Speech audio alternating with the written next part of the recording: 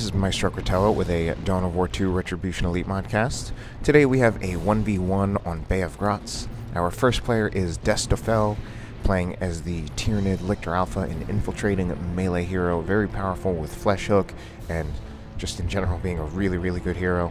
His opponent is Ser Topi, playing as the Ork Warboss, tanky melee hero, can stomp, can charge, can use some pretty incredible buffs like Ard Boys and use your choppas. So people have been starting to answer my call for uh, replays, my indirect call, just saying that I that there haven't been many, and I've been getting a few in my inbox lately. Uh, this is one of them. And we have here a matchup that is, I think, in some ways very representative of the competitive Dawn of War 1v1 scene. Uh, particularly, not this map, but particularly these heroes. These are probably two of the, probably just two of the best 1v1 heroes in the game. Uh, the War Boss, as I often say, is an extremely proven 1v1 hero in tournament. I don't know if the Lictor Alpha is has had quite the tournament success of the War Boss, but definitely a hero who is considered one of, actually, if not the best 1v1 hero in the game. And certainly, I like I the game is not perfectly balanced, and I don't know if uh, if you guys are familiar with the concept of tiers. Uh, it's a concept in fighting games where they actually kind of rank characters based on their effectiveness in the game, and it's not. It's usually an acknowledgement that games are not perfectly balanced, and just reflecting which characters are actually better at winning tournaments. And so if we had tiers for this game, I would say uh, both the War Boss and the Lictor Alpha would be high or top tier commanders. And it like it certainly raised the question like what makes that so? And there there are a lot of things about these heroes that are very very good. Um, for the Lictor Alpha, there is the fact that he is one of only two infiltrating heroes in the game. And right away, that means your opponent needs to invest some kind of power to at least be able to detect, not counter, to detect uh, the Lictor Alpha. And I don't consider detecting an infiltrating unit necessarily countering it. You need to invest some kind of power to get a detector unit um, just in order to at least see that Lictor Alpha. And at least the Orks, they have one of the more convenient detectors in the form of that Shoot-a-Nob, since he adds DPS onto a squad that is already very useful, um, not just in Tier 1, but scaling into the later games. But then, even if you even if you can detect that Lictor Alpha, there are a lot of really, really nasty things he does. Uh, for instance, there is the Flesh Hook ability, which is very good as a hero counter, it's very good as a setup team counter, and it actually counters some of its own counters, mainly these detectors in the form of these uh, squad leaders. Since those squad leaders, uh, the detecting squad leaders, they cannot be killed off. Well, what that means is that they kind of share damage with the entire squad. So if they take a lot of damage, the whole squad takes a lot of damage. And that can actually be really, really dangerous for the entire squad. Uh, what's more is the, the Lictor Alpha, even if you detect him and even if he's not infiltrating, he's still just an extremely powerful fighter. Um, especially if you get an upgraded weapon. And there, there are actually a lot of squads that can't really deal with the Lictor Alpha if he has an upgraded weapon in Tier 1. Especially these feeder tendrils. Ooh, but speaking of upgrades, we now have the upgrade of the spiky armor on the War Boss. And we saw those those Hormagaunts actually getting hit by that spiky armor right there. The, the spiky armor returns damage to squads that are attacking the war boss in melee. So it is a melee counter, um, mostly effective against the weaker melee squads since every single model will be taking damage and those models can't afford to take too many damage. Too many, too many damage, too much damage. So that was a lot about the Lictor Alpha. On the Warboss side of things, um, the Warboss is a tanky melee hero, full-on tanky melee hero. So he is pushing forward. He is drawing the fire and the attention of usually more than one squad, especially ranged squads. And then he's backed up by a very high DPS army, usually the Shooter Boys and the Sluggers. The Shooter Boys actually, only one of them has their big shooters right now, so only this one is really putting out the high DPS. But overall, still a high DPS army, backing up the War Boss, usually killing a lot of models on enemy squads that are not shooting back at Ork squads because they're distracted by the War Boss. And this is a little... these shooter boys in a lot of trouble. I think they might have wanted to retreat out of there early. I think um, Ser Topi was probably hoping to get the support of his Loota boys, but as it is, he loses the shooter boy squad. So I think he wanted the support of the Lootas to try to keep the shooters out on the field. But I think once he saw that he was starting to take all those model losses, I think he should have just cut his losses and retreat. Um, took a huge loss there, losing his fully upgraded shooter boy squad. So now he only keeps the unupgraded one, and now he's putting upgrades on that one. So that's going to be a significant economic um, loss for Ser Topi, not just in terms of what he invested in that current shooter in the the shooter boy squad that he lost, but now that he's investing in his the one that he hasn't lost to replace um, the functionality of that that lost shooter boy squad, and he hasn't even fully replaced that functionality. He doesn't have aiming. What's that? Um, he got the shooter Nob because he pretty much needs it.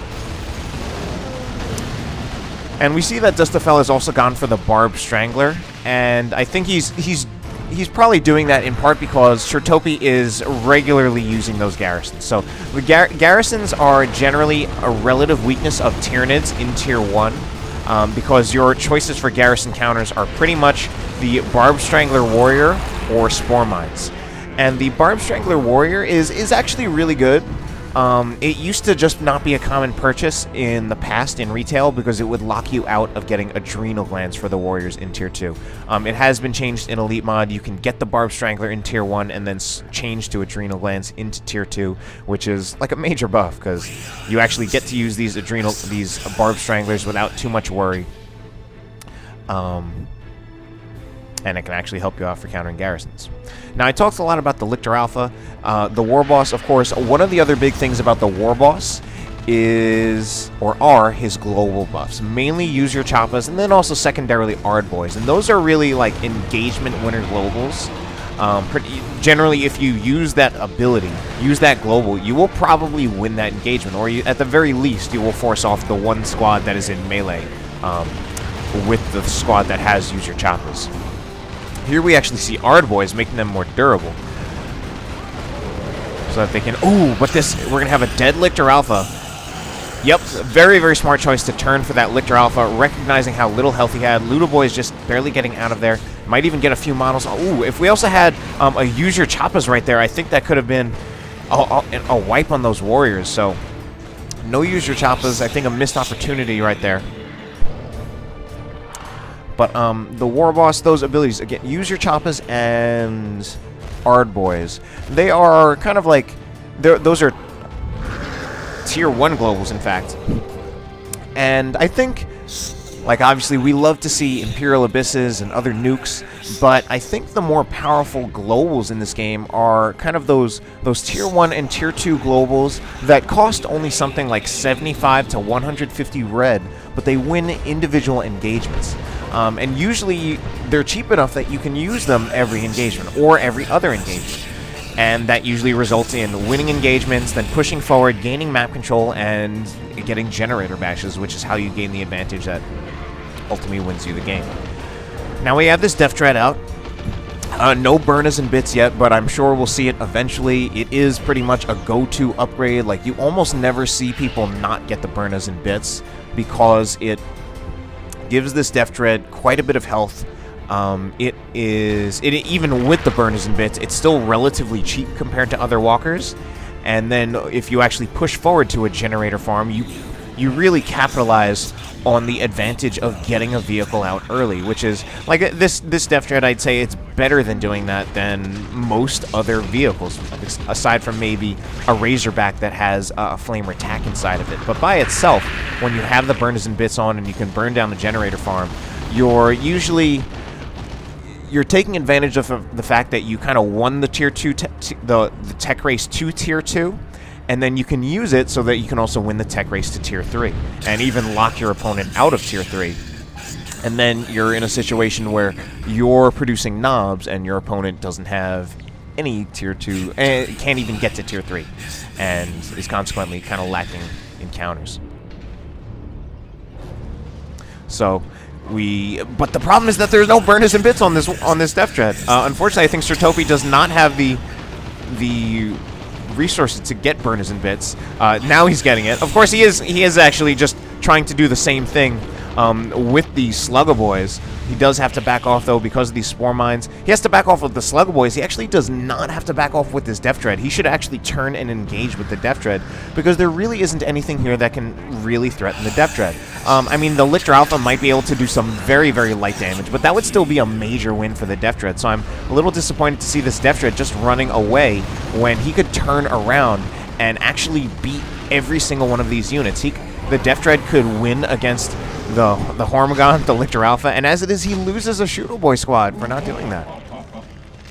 So again, this Deff Dread by itself could actually could have beaten this entire army. So I'm not sure why Ser Topi didn't do that.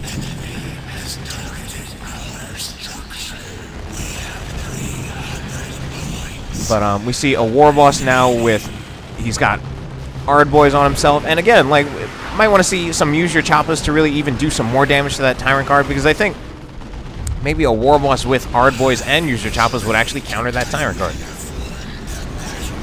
So Tyrant Guard is sort of the tyrant, the Tyranid vehicle in Tier 2.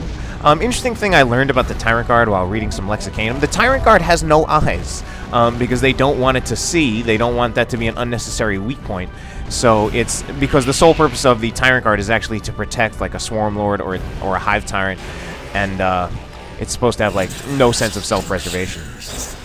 But that Tyrant Guard as a pseudo tier 2 vehicle for the Tyranids, um, it's interesting because it it's not a vehicle really and I often try to point out that difference and my my understanding of it is that it's just not as big of a deal to lose a tech race against Tyranids, um, at least from Tier 1 to Tier 2. From Tier 2 to Tier 3, then you might be in trouble.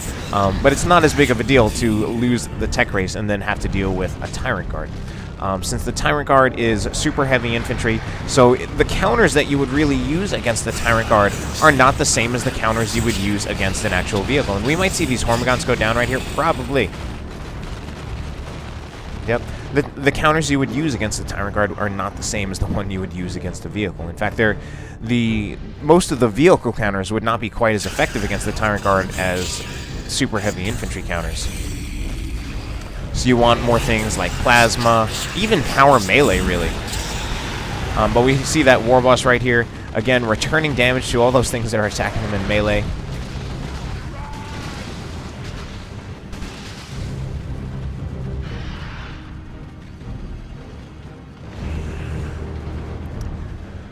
So uh, Ser Topi has been going for the lighter builds, although, well, maybe not necessarily because of all the squads he's been losing. He actually gets another Slugger Boy squad out, which is very interesting. It's it's interesting to see a late game, um, or even a mid game, second Slugger squad of all things.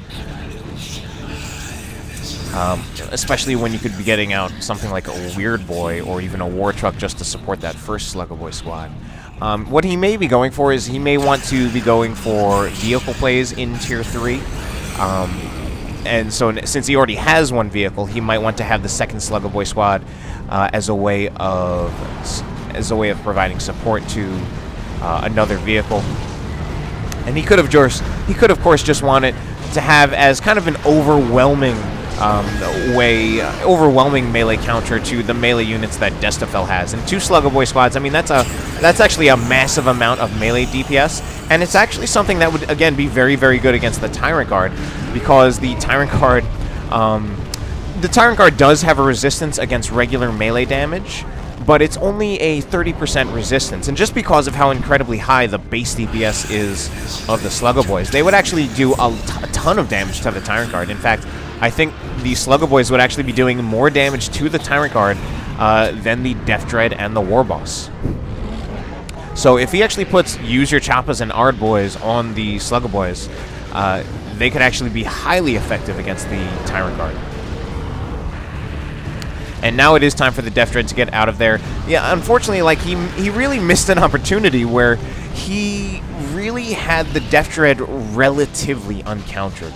Um, because these there was a time when these Adrenal Gland Warriors weren't out, and then even Adrenal Gland Warriors, um, I'm not sure that they necessarily win against a against a death Dread as long as it's at full health. Right now, with the death Dread at very little health, I wouldn't keep the death Dread in there against these Adrenal Gland Warriors.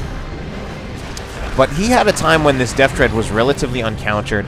Um, literally the best things he had for it. I mean, he had he had the the Barb Strangler Warriors, and he also had the Lictor Alpha, and both of those would definitely get countered um, by the Deff Dread. So he's wasn't quite as aggressive with this with this Deff Dread as he could have been. It did not really did not get much of a generator bash at all. So the Deff Dread, he's been keeping it alive. He's been doing well to keep it alive, and he's still using it in engagements. But he did not use it to its full potential.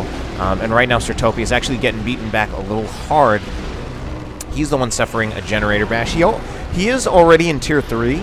But, you know, I'd say if there's any race that actually really does suffer from a generator bash in Tier 3, um, or even in the mid to late game. It, it, probably is the Orks because they they rely more on their tier three than their tier two, and that might seem like obvious, but I would say like compared to say a race like uh, Chaos, they can't really afford to stay in tier two uh, as well as a race like Chaos could, and they need to go to tier three more than a race like Chaos would.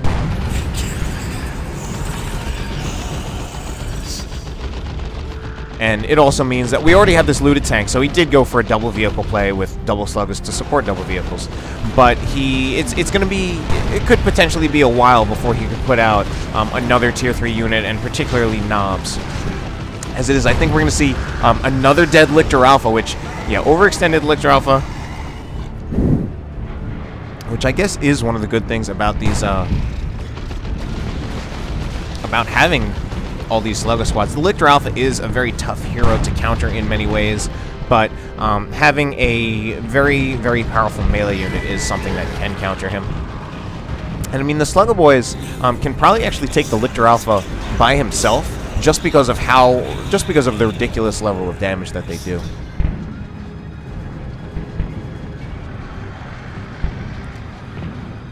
So we are in the late game, and Destoffel has, I think, actually pretty much not suffered a generator bash at all. Um, bashing generators is very, very big in 1v1. Uh, much more so than in team games. It's a huge part of the game in general, and you can really turn a game into a lopsided game by bashing a generator farm, because that's when you create tech advantages. Um, otherwise, you're just trying to win engagements on even tech, which usually makes for more entertaining games, but if you want to win the game, um, bashing generators is uh, just a big part of it. So Destoffel is pretty much ridden to Tier 3 on a full generator farm. Um, he, he's finally getting a little bit of a bash, but Destoffel is already on his way to either getting out maybe a Swarm Lord or a Carnifex.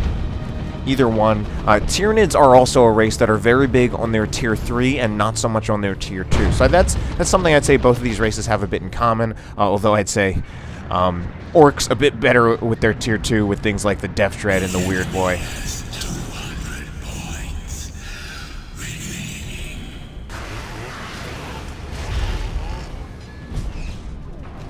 And look at the chunks taken out of that Lictor Alpha's health from this War Boss. Um, that Power Claw, it does do 95 DPS, but it's also a high burst damage melee weapon. It attacks slowly, but takes out health in huge chunks, much like the the um, Force Commander's Power Fist.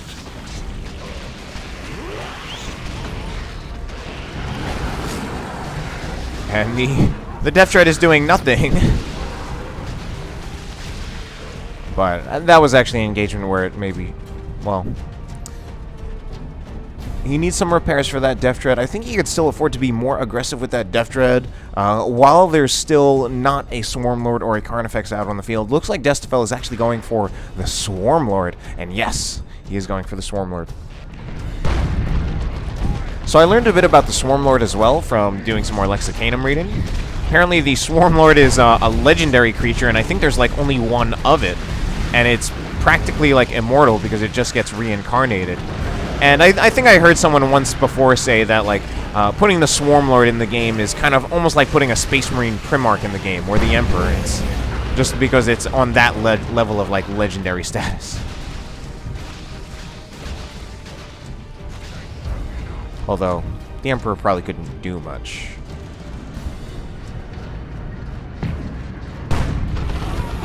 But, um, the Looted tank has been doing very well, leveled, and it's now at 915 hit points with both the reinforced plating as well as uh, just the level. Um, and it's actually taking some very light damage from these Adrenal Gland Warriors because they do, um, these Barb Strangler Warriors, they do do some power melee damage, so they can do some very light damage to the looted tank. Um, but he should still kite rather than just taking the damage. And Tyrant Guard is also uh, still alive, so very interesting to see. We both have those Tier 2 walkers from both players still alive. Uh, we might see them go down. Usually Tier 2 walkers are very, very powerful in Tier 2, and then usually difficult to keep alive in Tier 3 uh, against the most of the Tier 3 units. And ooh, we see uh, Ser Topi going for a Battle Wagon, as well as we see that Swarm Lord already out on the field. And there are some Tyranid players will just go for the Carnifex train, uh, since you can get more than one Carnifex, and the Carnifexes are a bit cheaper while still being really, really good uh, at what they do. Um, I actually think the Swarm Lord is like extremely good, and I, I actually think it's better. It's, it's hard for me to say this. I don't regularly play Tyranids. I don't play Tyranids much at all, but I've definitely seen the Swarm Lord just be really, really incredible. Um, and I think one of the big things about the Swarm Lord, I mean, there are a lot of things about it, but I think one of the big things is its speed. Um, the Carnifexes are speed one, are speed 4.5, which is regular Walker speed, but that's slow. Um, here you have a Swarm Lord that I believe it goes speed 5.5, and that's actually faster than most infantry. So that's that's really, really fast. Um, I think we're going to have the Tyrant Guard go down here. It's chasing down the looted tank, and the looted tank should be able to kite it while taking shots.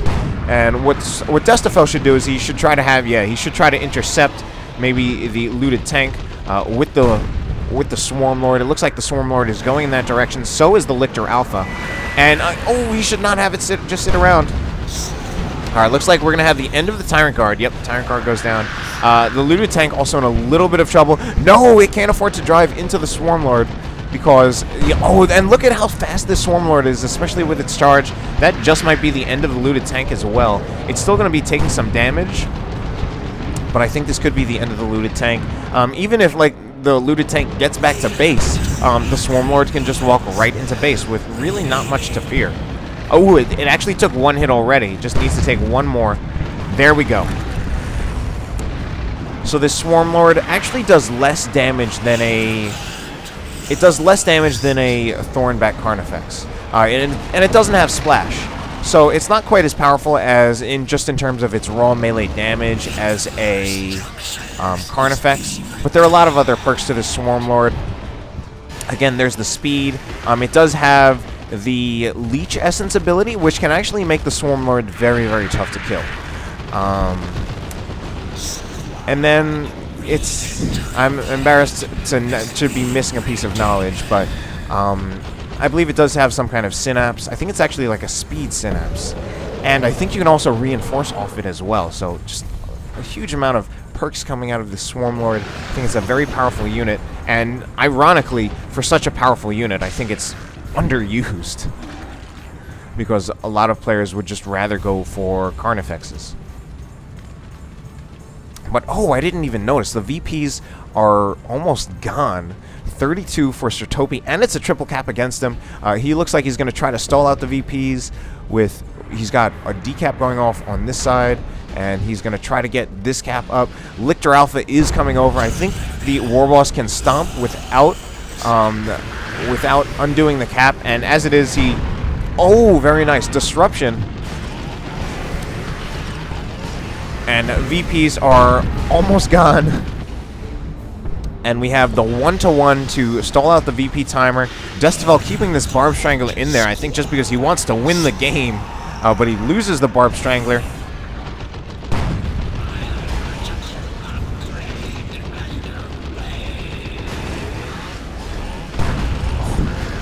And Ser Topi desperately trying to get the capture off. I think he should actually maybe um, kill the Lictor Alpha. Yeah, even with the Warboss, he, he does do that. And now he now he's getting capped. But here's the Tyranno formation. Will this actually kill the War Warboss? Yes, it does. It kills the War Warboss, so he can't capture the point. And Ser Topi actually has nothing even close that he can use to capture this point. So... Alright, he's sending his Loota boys back.